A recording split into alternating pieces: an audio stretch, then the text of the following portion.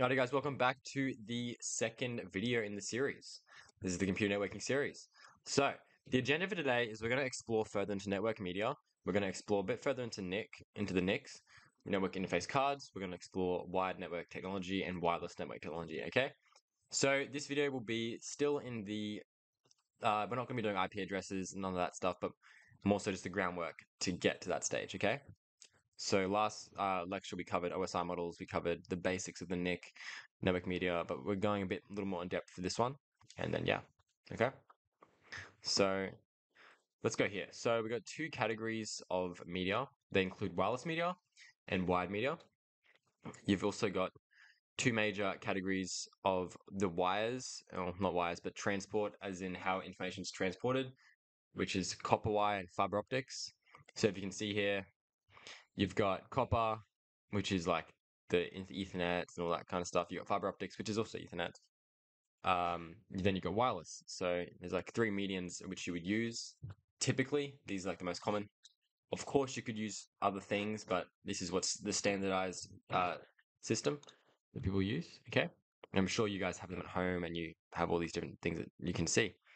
Next bit criteria for choosing network media. So some of the criteria you'd be looking at in terms of choosing, uh, if you're using fiber optics, if you're going to be using a uh, copper or Wi-Fi, you want to be looking at things like how much how much data is going to be sent during the given time, and that's usually measured in megabytes per second. So maybe you, if you're in like a system where you need to have information given to you really fast, you need probably like fiber optics. But if you're in a situation where you don't, then you maybe Wi-Fi, would be the good choice in that case. It depends on the use case and what you want to use it for. Now, you've also got different things like distance. Now, each cable can only carry so far before the signal is weakened. Same goes for Wi-Fi. There's like a certain amount of distance you can go before the the, the signal is weakened. Okay, and you've got interference, physical objects, radio waves, interference, etc. There's all sorts of things that can come in that one. That can apply for that can apply for Wi-Fi. That can apply for uh, the cabling, like radio frequency, well not radio frequency, but like uh, tear and wear on uh, different things. That's interference. Okay, uh, you got security. You got eavesdropping and copper wire, and for fiber optics, you got carries light, but it's not susceptible to interference or eavesdropping because that's sending light pulses, and that's going to be decoding that instead of sending electrical pulses. So you can't really drop in and eavesdrop the information. It's just a lot more difficult, and no one does it. Okay. So the types of cables that are typically found in uh, networking systems. So coaxial cable, once this is the predominant one used for most networking systems. Uh, it's inexpensive and easy to install. Started to phase out in the early 90s.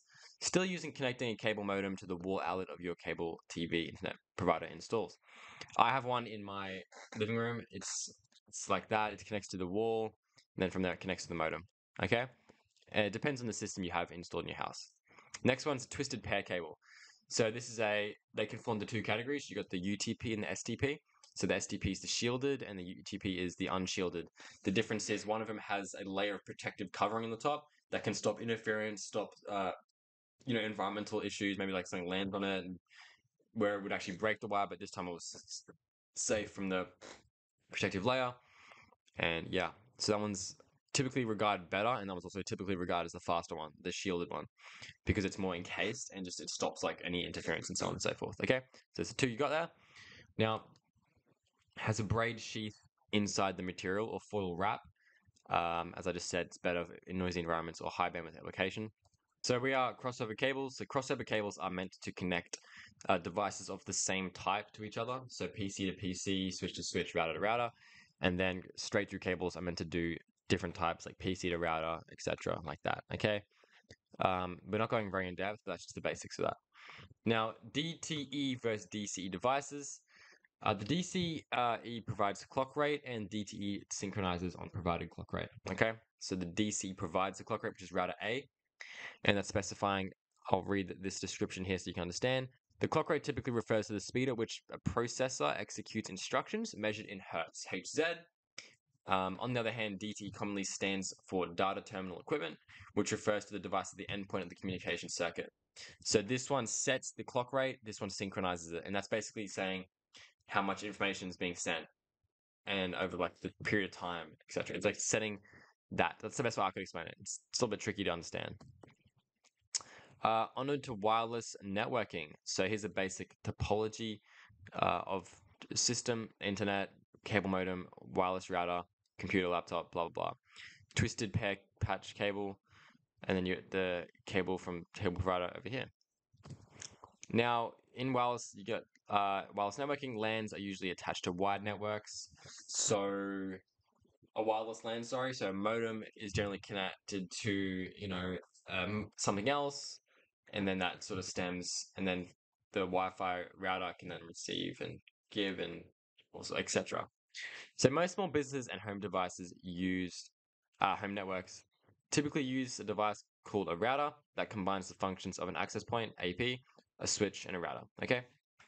Um, if you can see here, this is just like comparison of LAN media characteristics. Uh, you got fiber optics, wireless, different cables, and then like this is how much the distance can go, like cable length, um, etc. The bandwidth, installation, interference, cost, blah blah blah. Um, uh, speed. So wired Ethernet is faster than wireless. Then, uh, yeah, obviously, Wi-Fi is becoming faster over the recent years, though. Stability. Wi-Fi is susceptible to environmental factors. Radio waves can block stuff, walls, microwaves, etc. Um, mobility, installation. We get kind of common sense. Security transmission can be interrupted more easy than wired transmission. Okay, so wireless is probably more easy to access and to potentially breach a security threat of some sort. NIC further information. Attached to a computer, and a network requires a NIC to create and mediate the connection between a computer and a networking medium. So here's one, we looked at this in the last lecture, but this is what it looks like, and this is what the one looks like here. A NIC can be built into the motherboard, a separate adapter card that slides into one of the motherboard expansion slots. So if you see here, you know, this is the expansion slot. Well, this one's inbuilt. Okay, so it just goes in, you can plug Ethernet in, from there, well, magic happens. And now NICs uh, provide a MAC address. A MAC address is a unique and is stored in ROM on the NIC, okay? RM is abbreviation. I'm not too sure what it means. I have to look that up later, but you know, uh, that's on the NIC. And then a MAC address looks like this. It's basically the physical address of the device that you're on. Okay, every device has one that's connected to a network, and that's how it is located the individual device. Because when devices, when things get sent over the uh, the net, they go to the IP network, and then from there to define and decipher which exact device, you have to go to the MAC address. Uh, to summarize the possible values for each digit in the MAC address, you've got 0, 1, 2, 3, 4, 5, all the way to 9, and you've got A, B, C, D, all the way to F, and that's your possible combinations. So 0, 0, 1, A, F, 3, F, F1, 4, C, C6, okay? The broadcast address is F, F, F, F, F, F, F, F, F, F, okay. We understand that. Uh, NIC further information, I, I think oh, that's already done. You got wireless NIC. So in this one, this is what a wireless one will look like. So wireless NICs connect to a network using the SSID. I'm sure you've seen that on the computer. It's basically a service set identifier, which is just like the Wi-Fi name. Uh, it's the name assigned to your network. And you know, over here you've got these little things that expand out like antennas. Act they're wireless ones. I've had them like on my laptop too, etc. So that's just the wireless version of that instead of an Ethernet. So instead of instead of receiving it through a cable, you're receiving through waves in the air. Okay. Uh, the function of the NIC is to receive incoming messages. So it receives these bit signals and assembles them into frames, verifies the destination address if the destination MAC address is its own MAC address or its broadcast address, removes frame header, sends resulting packet to the network protocol. This is when it receives it. So if, if to illustrate that further, it's sort of like when it receives, it goes down here, goes to the NIC, comes back here, goes up, and then you know it kind of processes that information and it then positions it up to the next protocol and the next layer. Well, per se. I mean, it's best way I can visualize it. Um, receive packets from the network layer. So this is when you're receiving information. So information is going to be received to the NIC, creates a frame by adding a MAC address and error check. So receives the information, okay, from the network layer, frames it up, converts the frames in bid signals suitable for the medium, and then transmits them out, okay? So that's cool. Here's what it looks like in a diagrammic format. So you've got, let me just move this over here. You've got the network protocol. So actually, with this one's going, this is incoming. So incoming bits and signals on the network medium. Um, this is the physical layer transmitting this information. Comes in, converts bit signals to frame. So frame header, frame trailer, verifies the MAC address. Here, here, removes frame and header, sends packet to network protocol, verifies checks uh, credit uh, CRC, which stands for something cycle redundancy check or something. Yeah, something like that. Check cycle redundancy cycle. I don't know. But uh, here it is. It's just like a check to verify error checking information. And then, yeah, it sends it to the network protocol, it goes up here, and that's now your, your information. It'll be further processed. Okay.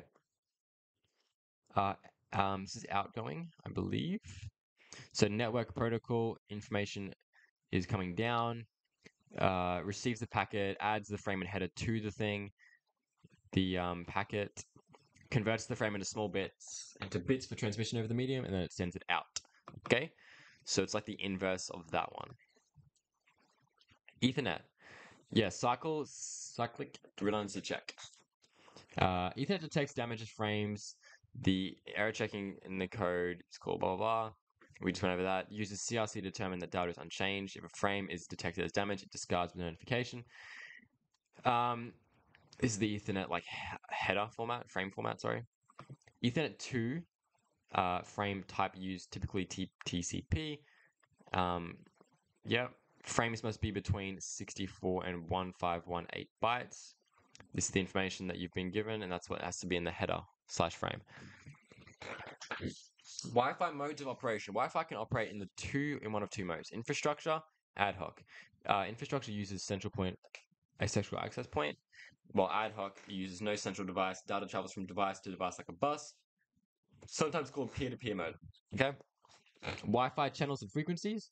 Wi-Fi can operate uh, um, two two point four gigahertz and 5.0 gigahertz frequencies. 2.4 is usually 2.4133 and 2.484 divided into 14 channels spaced 5 megahertz apart, as you can see this. Um, I'm not too familiar with all this, but that's just how it, that works, okay? You probably look at that one in more in depth. But um, some basics about the different frequencies. So this is your lower frequency. Lower data rate, more susceptible to interference, and there's more devices using the spectrum. Larger coverage area, better at successfully penetrating solid objects. Higher data rate, less susceptible to interference, and usually has fewer devices using this frequency. Smaller coverage, less successful at penetrating objects.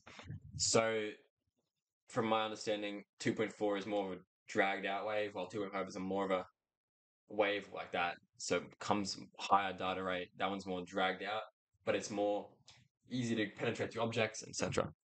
Okay. In the next topic, we're going to be getting to the meat of the lecturing.